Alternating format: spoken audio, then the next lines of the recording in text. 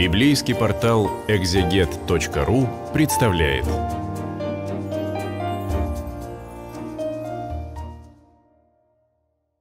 Восьмая глава книги «Исход», перевод Российского библейского общества. Я читаю его для библейского портала «Экзегет». У нас вовсю идут египетские казни. Э, идут они примерно по одной и той же модели. Э, Моисей и Аарон приходят к фараону и говорят, отпусти мой народ, отпусти мой народ, отпусти мой народ. Так сказал Господь. А фараон говорит, не отпущу, не отпущу, не отпущу. И тогда что-то происходит. Происходит что-то плохое с Египтом. Интересно, что э, первоначальные египетские маги, волхвы и жрецы пытаются повторять. И до какой степени им это удается? Сначала безобидное чудо, э, посох превращается в змея, у них тоже. Ну, правда, посох Аарона сожрал э, этих самых змей египетских жрецов, но, но все равно им удалось. Потом вода в Ниле превратилась в кровь, но, но жрецы этому смогли подражать. Не очень понятно, зачем они это делали, то есть просто, чтобы продемонстрировать свою крутизну, но при этом народ-то страдает. Ну, так оно часто бывает, когда начальство демонстрирует крутизну, там народу трудно приходится. А, и это все продолжается. Э, Фарон пока не думает передумывать, да, ему все хорошо, у него во дворце всего хватает. Господь велел Моисею, иди к фараону, скажи ему, Господь говорит, отпусти мой народ совершить служение мне. Если не отпустишь, я нашлю на твою страну жаб. Весь Нил будет кишеть жабами, они выйдут из реки и заполнят твой дворец, залезут в твою спальню, к тебе в постель. Заполнят дома твоих вельмож и всего твоего народа, забьются ваши печи и ваши квашни. Жабы придут и к тебе самому, и к твоему народу, и к твоим вельможам. А здесь уже фараоны говорят, ты не отсидишься в своем дворце, в нем тоже будут жабы. Вот чтобы почувствовал, как простому народу живется. Господь велел Моисею, скажи Аарону, пусть занесет он свой посох над всеми реками Египта, над рукавами Нила и над озерами, и нашлет жаб на землю египетскую. Простер Аарон руку над водами Египта, и вышли из них жабы, и заполнили всю землю египетскую. Но то же самое с помощью волшебства своего сделали и маги, наслали жаб на землю египетскую. Ну, логика безумия, да, то есть лучше повредим своим, лишь бы показать, что мы круче.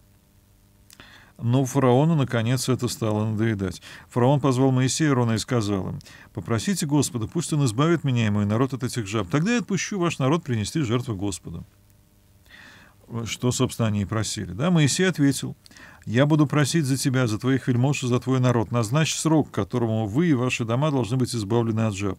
Жабы останутся лишь в Ниле» к завтрашнему дню, сказал фараон. Да, то есть э, это еще и постоянно идущее соревнование в способностях совершать чудеса. К завтрашнему дню это дворец к утру, да, хрустальный дворец к утру.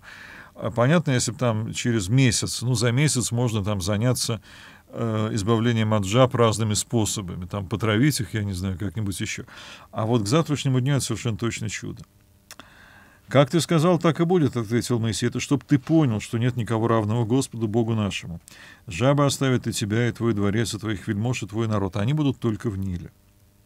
Когда Моисей и Рон вышли от фараона, Моисей попросил Господа уничтожить всех жаб, которых Господь наслал на Египет. Господь выполнил просьбу Моисея. Умерли все жабы в домах, во дворах и в полях. Дохлых жаб собирали в кучи, и по всей стране стоял мра- смрад. Да, это же не уточнили, куда их девать. Утилизация жаб не была оговорена в условиях договора, поэтому ей никто не занимался. Но фараон, увидев, что беда миновала, снова стал упрямиться. Не послушал он Моисея Арона, как и предсказывал Господь. Смотрите, как и предсказывал. Вот мы э, все время смотрим э, на эту историю, и э, в ней видим два варианта. Господь говорит, я знаю, что фараон будет упрямиться, и Господь ожесточил сердце фараона. Вот, э, видимо, это два способа назвать одно и то же. То есть фараон принимает решение, Господь этому решению не противодействует. Господь велел Моисею, скажи Аарону, пусть занесет он свой посох и ударит им по пыли, покрывающей землю, и по всему Египту пыль превратится в мошек. Моисей и Аарон так и сделали. Занес Аарон свой посох, ударил им по пыли, и тотчас людей и скот облепили мошки. По всему Египту пыль, покрывавшая землю, превратилась в мошек. Маги тоже попытались с помощью своего волшебства произвести на свет мошек, но не вышло у них. Ну, наконец-то хотя бы у магов египетских не вышло, то есть хоть какое-то облегчение египтянам.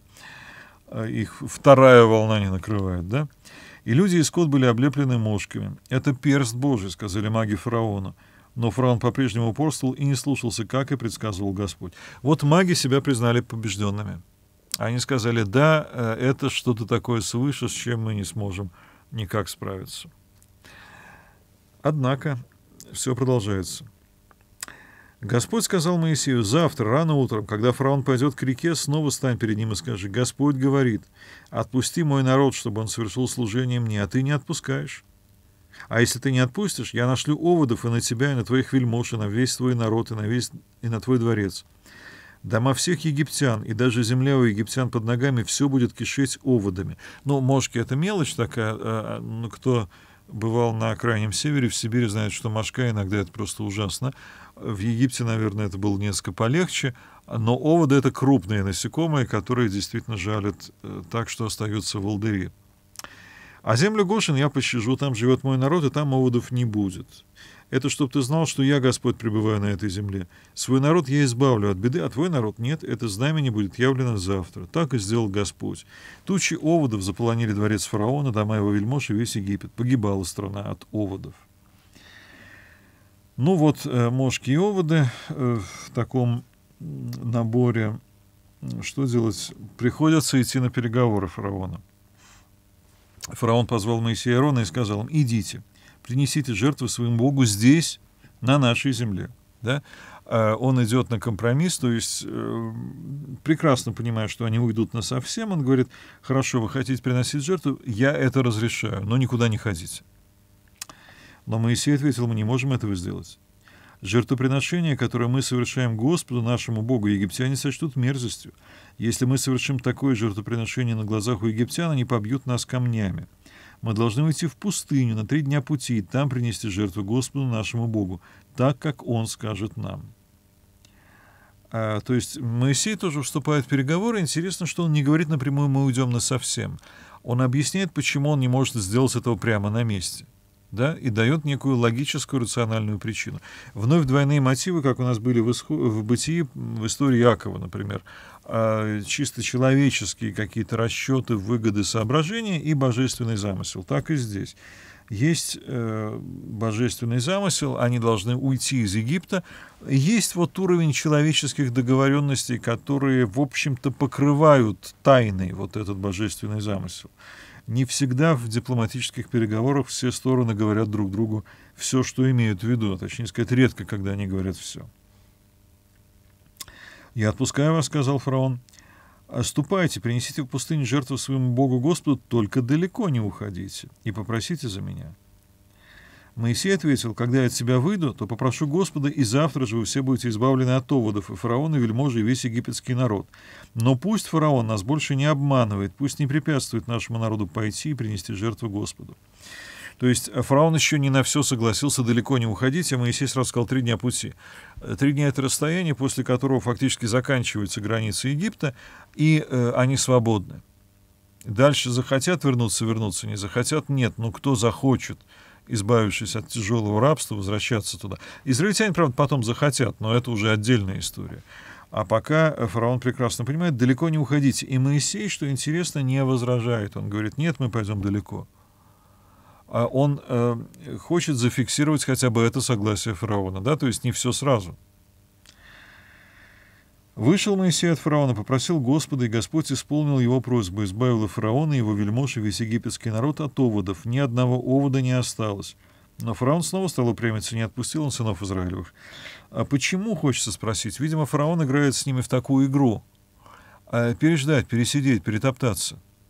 Как-нибудь перетерпим. Вот избавились мы от оводов, ничего страшного, жить дальше можно, все в порядке — возвращаемся к прежней своей позиции. Да? То есть это еще про то, как фараон не хочет на переговорах исполнять свои обязанности, исполнять договоренности, которых они достигли. Да? Он э, все время делает так, вот пока ему это выгодно, он их исполняет или делает вид, что собирается исполнять. Как только нет, э, он как будто обо всем забывает, он все обнуляет, да? Вот э, какая хитрость, но эта хитрость приводит только к тому, что каждый раз его позиция ухудшается. Да? То есть каждый раз ему приходится идти на большие уступки. Каждый раз, э, идя на эти уступки, он э, замечает, что еще хуже стало. Да? Вот нет бы сразу пойти на э, приемлемые условия, но не таков раунд, в 9 главе мы еще об этом почитаем.